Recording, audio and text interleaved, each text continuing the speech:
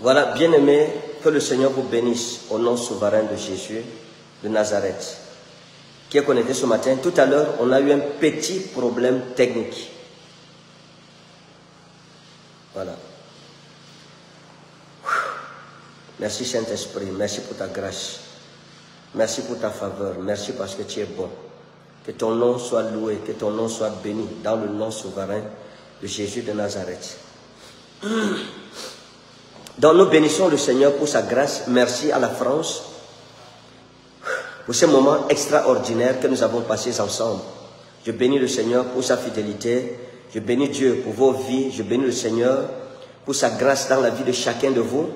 Nous avons passé des moments très forts, inoubliables en France. Et j'ai été béni par l'amour que vous m'avez porté, par cette passion pour le Seigneur Jésus-Christ. Nous nous reverrons, s'il plaît à Dieu, au mois de mars pour une autre édition de la nuit de la turbulence prophétique et du culte des familles du mois de mars. Nous sommes déjà au Cameroun et on a passé de bons moments en France et c'est le tour du Cameroun maintenant. Donc Cameroun, vous savez, ce dimanche, nous avons un grand culte. Oh mon Dieu, un grand culte ici à la Bire. Nous aurons un très grand culte. On aura un très grand culte du côté de la Bire ici, euh, ce dimanche à partir de 8 heures. Sois mon invité. Ne reste pas à la maison. Euh, nous allons, dans le cadre des enseignements eschatologiques, continuer. Mais on va faire, comment dire cela, on va faire une sorte de hiatus avec un enseignement puissant qui m'a maintenu éveillé toute la nuit ici. J'étais en train de lire la Bible et le Saint-Esprit m'aidait à comprendre la science des trônes et des couronnes. La science des trônes et des couronnes. Tout le monde doit entendre cet enseignement. Tout le monde doit suivre cet enseignement. Faites tout pour être présent. Ne rate pas cet enseignement. La science, la science des trônes et des couronnes. C'est un mystère que le Saint-Esprit a pris le temps à m'enseigner tout au long de cette nuit. J'étais dans la présence du Seigneur à prier, à méditer, à chercher sa face et à essayer de sonder les Écritures. Comme le Seigneur l'a dit, sonder les Écritures pour comprendre mieux la pensée de Dieu dans ce mystère. Mes amis, j'ai fait une découverte terrible. Ce sera un pont avec euh, l'enseignement sur le jugement de l'Église et les couronnes des saints. Le jugement de l'Église et les couronnes des saints. L'apôtre Paul a dit, ne savez-vous pas que le jugement commencera par la maison de Dieu? C'est-à-dire les premières personnes à être jugées par le Seigneur, c'est l'Église, c'est toi et c'est moi. Donc on doit être prêt à cela. Mais le jugement de l'Église sera différent du jugement Béma, qu'on appelle aussi le jugement du grand trône blanc. Donc on va voir ces mystères ensemble. Donc je t'invite à ne pas manquer ce dimanche. Et même mes bien-aimés qui sont dans d'autres pays, vous pouvez vous connecter en direct? Soyez connectés en direct. La gloire de Dieu se manifestera avec puissance. Vous savez, comme j'ai l'habitude de dire euh, dans mes enseignements, ce qui apporte la délivrance, ce qui élève un chrétien, ce n'est pas le jeûne et la prière. Non, ce n'est pas le jeûne et la prière. Ce n'est même pas une vie de, sanctification. Ces choses-là sont fondamentales. Le jeûne, la prière, la sanctification sont sine qua non à l'exercice du salut, au bénéfice du salut. Mais ce qui rend puissant un enfant de Dieu, ce qui rend puissante une église, ce qui rend puissant un peuple qui sert Dieu, c'est la connaissance. Dis à ton voisin la connaissance. C'est la connaissance, mes amis. Jésus a dit, vous connaîtrez la vérité et la vérité vous rendra libre. C'est très sérieux ça. Et dit, vous connaîtrez la vérité et la vérité vous rendra libre. Donc, l'enseignement est fondamental. Dans un culte, lorsque vous arrivez dans un culte, l'un des moments, ça veut dire c'est vrai que tous les moments, toutes les articulations sont importantes. Que ce soit l'adoration, que ce soit la prédication, que ce soit la prière, que ce soit le temps de guérison, de prophétie, etc. Toutes ces choses-là sont bénissantes. Mais l'enseignement, mes amis, est la clé du salut. C'est par la connaissance que nous sommes affranchis. La victoire dans les guerres spirituelles, dans les batailles spirituelles, c'est ça qui donne la victoire. Un enfant de Dieu qui veut mener une vie glorieuse, une vie victorieuse, doit être pas seulement une personne de prière, de sanctification, de méditation, mais quelqu'un qui sonde les Écritures pour avoir la connaissance, qui va la franchir. Donc Jésus dit clairement dans le principe de la délivrance et de la victoire spirituelle, la connaissance. Il dit, vous connaîtrez la vérité, et cette vérité vous affranchira. Donc c'est la vérité qui affranchit. Et lorsqu'on parle de la vérité, c'est quoi? La vérité, c'est une clé.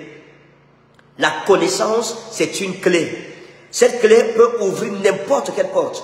Donc quand vous êtes devant une porte fermée dans votre vie, la prière qu'il faut faire, Seigneur, révèle-moi la clé qui ouvre cette porte. Révèle-moi la vérité qu'il me faut connaître pour ouvrir cette porte et découvrir ce qu'il y a derrière cette porte-là. Donc, ce dimanche 8, 8 heures, nous serons à la bille. Sois là, s'il te plaît, à partir de 8 heures. Que tout le monde soit présent, que toutes les familles soient présentes.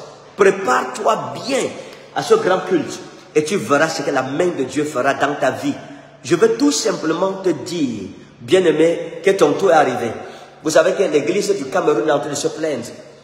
Oh non, vraiment nous avons besoin nous aussi de papa, il est parti, il se souvient plus de nous. Non, il n'y a pas de problème, je suis là et je suis là pour toi. Je vais dire merci à la France qui a été bénie pour ces deux programmes. Si tu as été béni, dis simplement en commentaire, j'ai été béni. Qui a été béni? Tu as été béni, dis-le et que le Seigneur te bénisse au nom souverain de Jésus de Nazareth. Donc dimanche, ne manquons pas avec nos familles, avec nos enfants. Merci encore à la France. Merci à l'amour. Merci à la, passion que vous avez pour Christ. Et surtout, merci à mon équipe en France pour tout le staff qui s'est démarqué, tout le staff qui a été avec moi, tout le staff qui a travaillé d'arrache-pied pour rendre possible ce programme du côté de la France.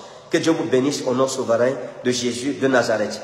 En mars, déjà il faut dire que le 8 mars, le 8 mars, nous aurons euh, la prochaine, la troisième édition, la troisième édition de la nuit de la turbulence prophétique.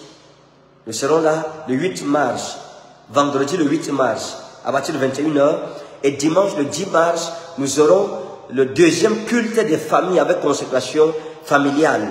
Alors nous serons là-bas, on va vous donner la salle tout à l'heure. Je ferai une autre annonce où je vous dirai la salle. Que Dieu te bénisse. Merci à toute mon équipe, merci à toutes la population de l'Europe, à ceux qui ont voyagé de loin pour venir à ce programme.